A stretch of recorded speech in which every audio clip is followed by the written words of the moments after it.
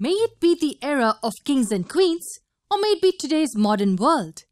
Silk has always been the choice of several people for all the wonderful qualities it has.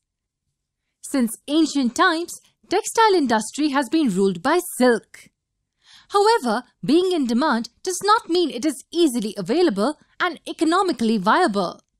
Yes, it's not easily available and is expensive. This has made people search for alternatives. And finally, this search was concluded when an artificial fiber resembling silk was synthesized. Hang on, does that mean we find synthetic fiber which is like silk? Of course, yes. And what do we call it? It's known as rayon. Have we come across this fiber? Of course, yes. It has got several daily life applications. From the fabric we use to make various outfits to the bed sheets used by us, it is used in many applications. But if we say that it is synthetic and at the same time has appearance of silk, then how exactly is it made? Let us know this first. It was in the end of the 19th century that the silk availability was a concern due to its extremely high cost. As a result, many chemists began finding an alternative to it. Finally, after many successful attempts to make something close to silk, a type of rayon got introduced in France. In around 1889, a French industrialist named Hilaire de Chardonnet introduced the Chardonnet silk, which was the first ever man-made rayon manufactured at industrial scale.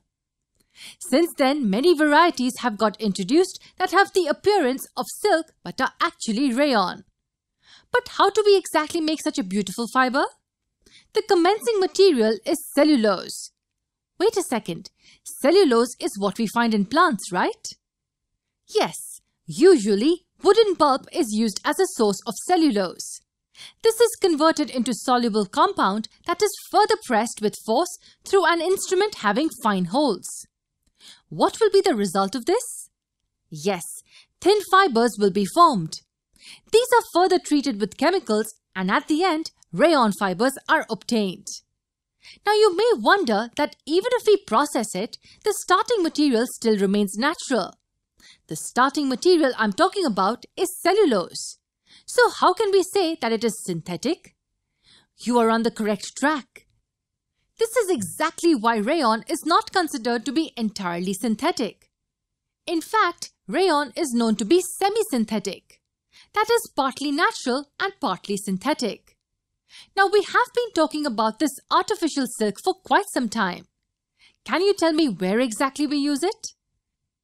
The major use of rayon is in making clothes. Yes, rayon can be blended with many dyes to get vibrant shades, which is why it is widely used in the textile industry. Not only clothing, but it can also be used in making bed sheets when mixed with natural fibers like cotton. Can we mix it with any other natural fiber as well? Yes, rayon can also be blended with wool. This helps us get soft, shiny fiber that can be used to make carpets. Now you may be wondering if we can use rayon to make some tough material that has great strength.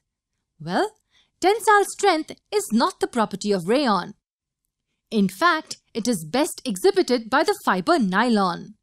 But to study it, you will have to watch our next video.